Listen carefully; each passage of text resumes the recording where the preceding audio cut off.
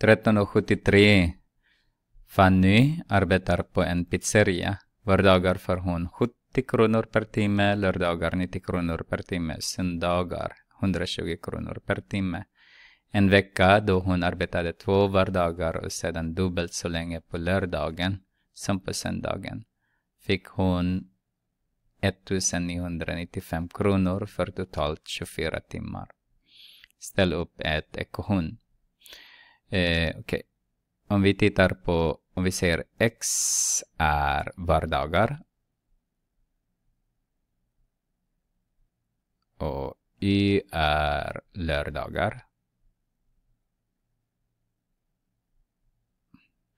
Och z är söndagar.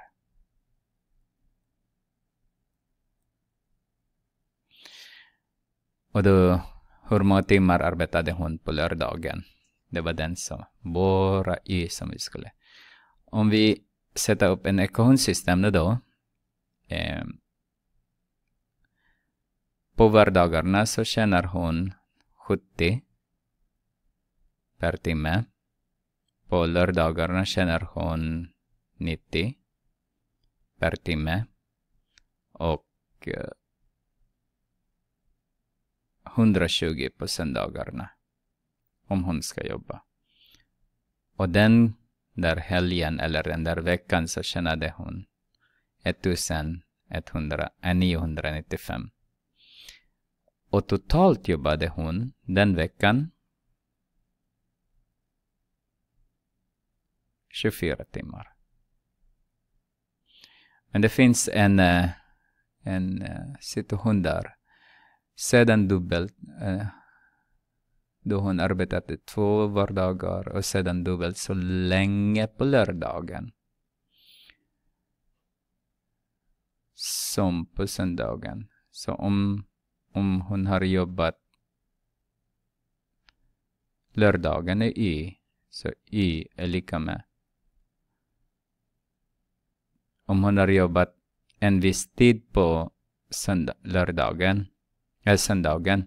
Så det, på lördagen så jobbade hon två gånger längre än den som hon har jobbat på söndagen. Då har vi redan där. Så vi kan, uh, vi kan uh, använda dem, allting som vi har nu då. Så har vi, om vi döper den här med ettan, tvåan, och trean. Så nu ska vi använda eh, tvåan. Tvåan då. Sätts, sätt eh, trean.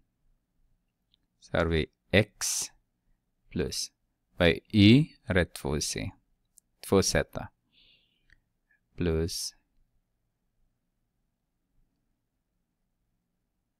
z är lika med 24. Så var det x plus 3z är lika med 24. 24. Och vi döper den här till 4.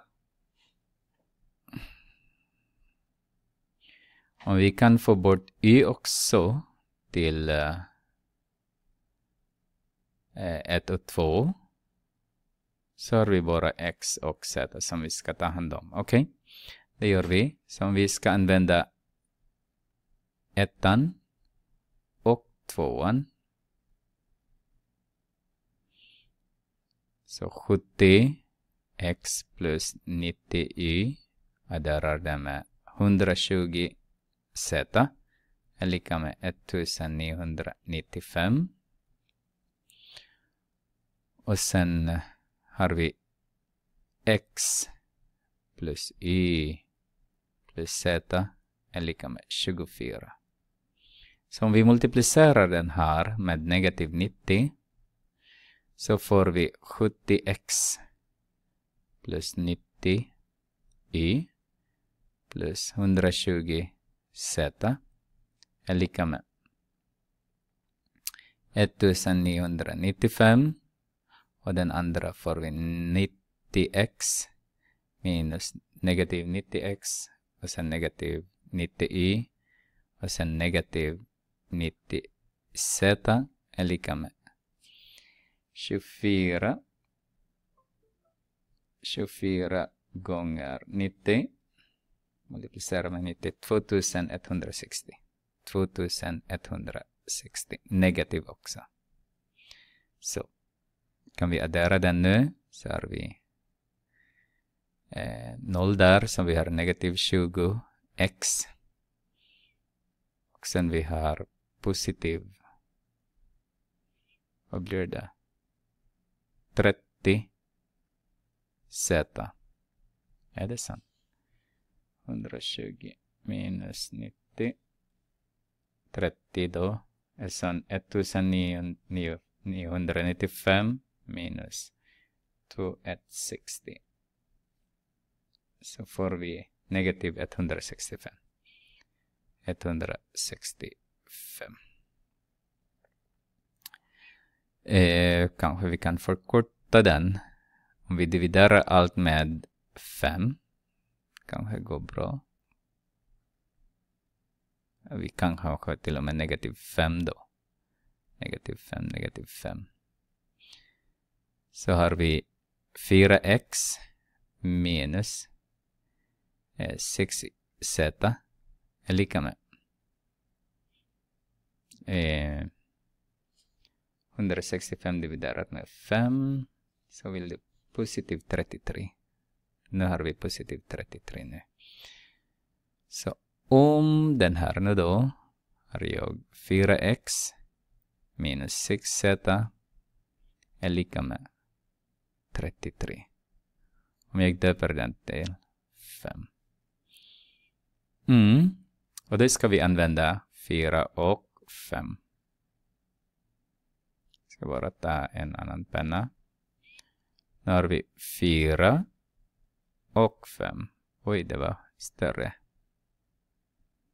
Så har vi x plus 3z är lika med 24. Och sen vi har 4x minus 6z är lika med 33. Om jag dubblerar den, multiplicerar med 2, så får jag 2x plus 6z är lika med 48. Sen har jag 4x minus 6z är lika med 33. Så att 6z är lika med 48 plus 33. 81. Och dividerat med 6 dividerat med 6. Så z är lika med eh,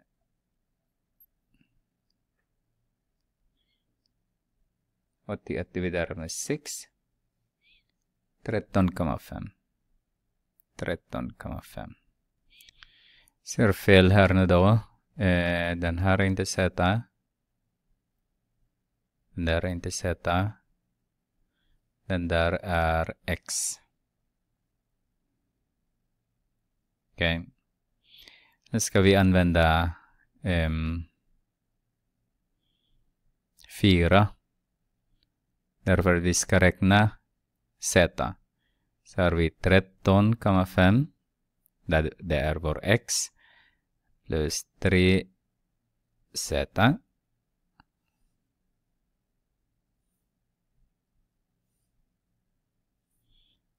3z är lika med 24.